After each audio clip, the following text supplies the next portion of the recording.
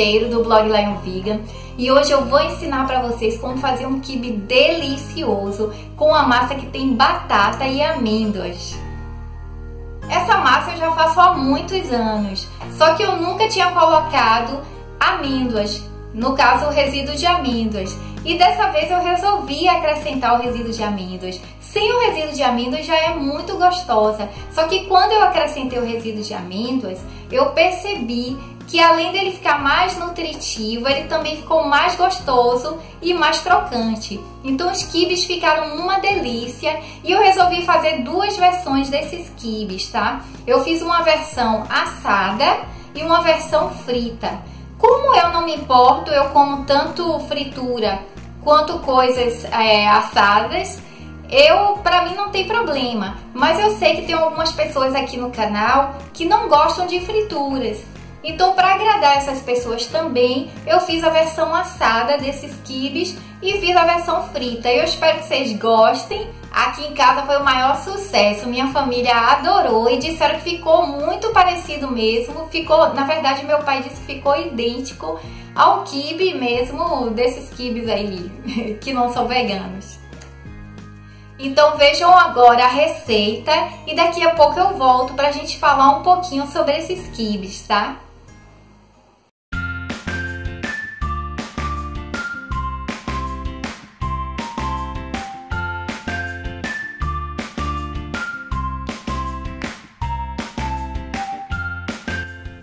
Para fazer o quibe vegano com batatas e amêndoas, vamos precisar de 500 gramas de batatas cozidas e amassadas, 250 gramas de trigo para quibe, uma xícara de resíduo de amêndoas, meia xícara de cebola picada, 4 dentes de alho esmagados ou picados, meia xícara de cebolinha picada, meia xícara de salsinha picada, uma xícara de hortelã picado, suco de um limão, duas colheres de sopa de azeite de oliva, sal, pimenta do reino e pimenta cominho a gosto, 5 xícaras de água para deixar o trigo de molho. Para fazer o resíduo de amêndoas, vamos precisar de uma xícara de amêndoas cruas, 3 copos de água. Lave as amêndoas e coloque-as de molho na água em quantidade suficiente para cobri-las. As amêndoas devem ficar de molho por no mínimo 8 horas. É mais prático deixá-las na água de um dia para o outro. Jogue fora a água que as amêndoas ficaram de molho. Em seguida, bata as amêndoas no liquidificador com 3 copos de água até obter uma mistura homogênea. Para obter o resíduo das amêndoas, use uma peneira com pano fino em cima.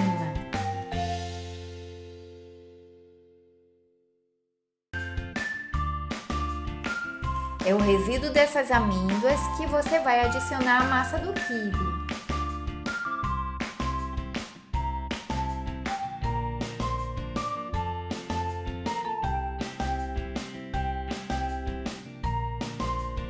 Este é o resíduo das amêndoas.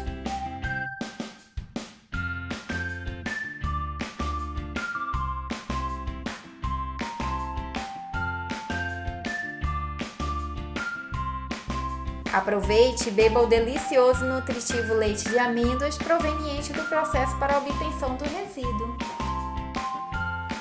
Deixe o trigo de molho em um recipiente com água durante uma hora. Exprima o trigo com as mãos com auxílio de uma peneira com tecido fino.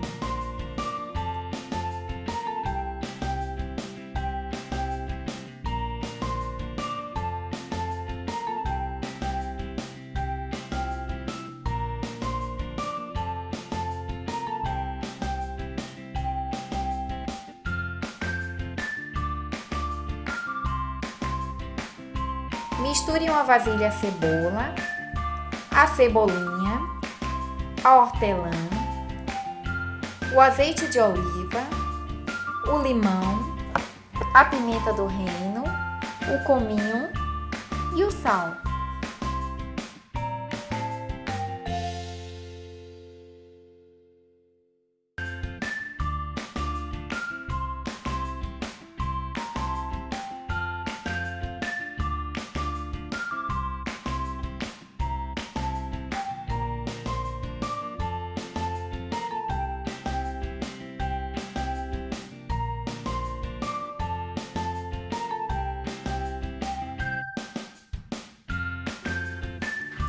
Coloque em um recipiente o trigo, o resíduo das amêndoas, a batata amassada e misture até obter uma mistura homogênea.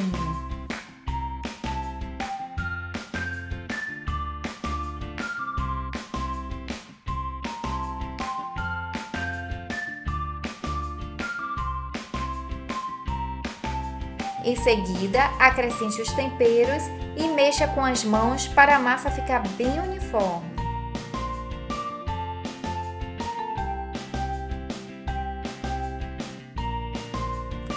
Modele os bolinhos em formato de quibe.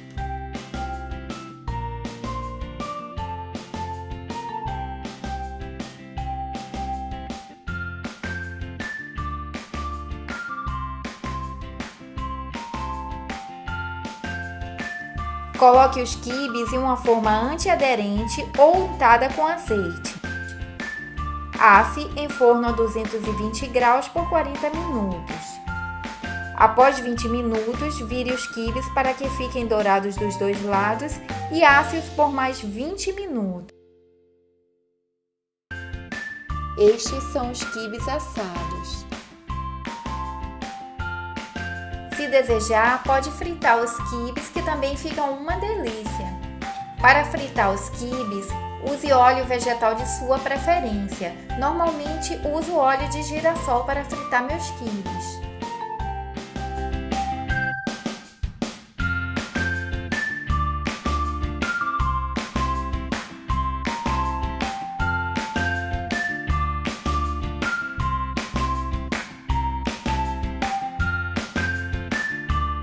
Está pronto o nosso delicioso kibe vegano.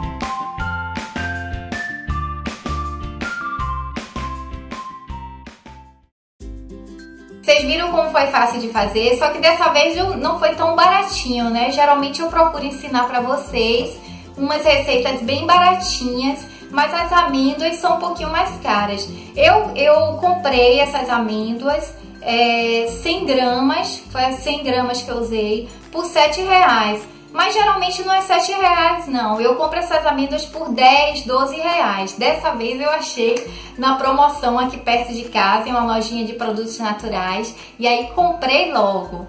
Ah, só mais uma coisinha. Se vocês quiserem, não precisa fazer os quibes com resíduo de amêndoas, se vocês acharem que sai muito caro, tá? Usar amêndoas. A própria batata já liga legal. Eu só coloquei as amêndoas para incrementar mais e para ficar mais gostosinho e mais nutritivo. Mas tudo bem, podem fazer sem amêndoas, tá bom?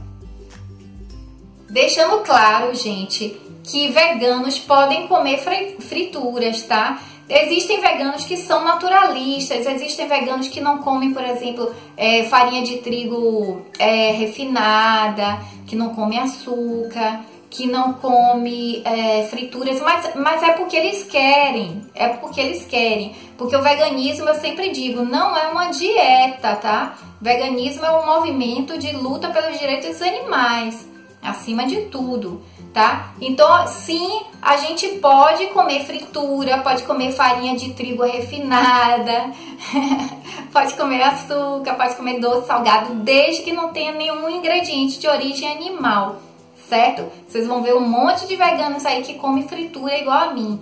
Tá? Agora, lógico que se eu sei que fritura não é uma coisa boa, eu não fico comendo direto. Por exemplo, esses quibes aí, tem um tempão que eu não como quibe frito. É, eu geralmente de segunda a domingo minha alimentação é super saudável. Mas quando eu quero comer uma batata frita ou quero comer qualquer salgadinho frito, eu como numa boa sem o menor problema, tá? Porque eu não, não, não é essencial para mim ser naturalista, tá? Desde que o óleo que eu use seja vegetal, para mim tá ótimo. Uma outra sugestão que eu queria dar é em relação ao quibe assado, que eu fiz ele em naqueles formatinhos, né, de quibe, mas eu percebi que a massa crua é uma delícia. Eu fiquei comendo a massa, quase que eu como a massa toda crua. É uma delícia aquela massa quando mistura com a batata, com os temperos.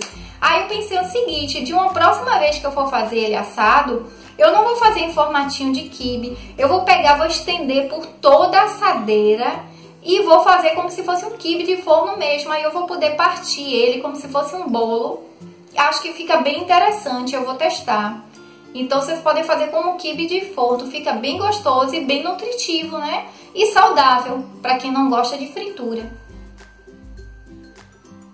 Outra coisa importante, é, vocês viram que na, na capa, vocês viram a foto, né? Lá no blog Lion Vegan também eu coloquei a foto de uns quibes. Os quibes estão tudo assim, com a cozinha mais escura, mais assim com cara de quibe mesmo, né? Aqui eles foram os quibes fritos que eu fiz, que eu fiz em duas partes, dividi a massa, fiz frito e assado. Os quibes assados são aqueles que vocês viram, que eu falo que, olha, esses são os quibes assados. Fiz questão de mostrar a diferença, porque eles, os quibes assados, pelo menos os meus, ficaram bem clarinhos. Então eles não ficaram com cara de quibe mesmo, entendeu? Tanto é que minha família comeu os fritos. Bom, eu espero que vocês tenham gostado desse vídeo. Se gostaram, comentem, dê um joinha, compartilhem com os amigos, se inscreva no canal. Beijo e tchau, tchau!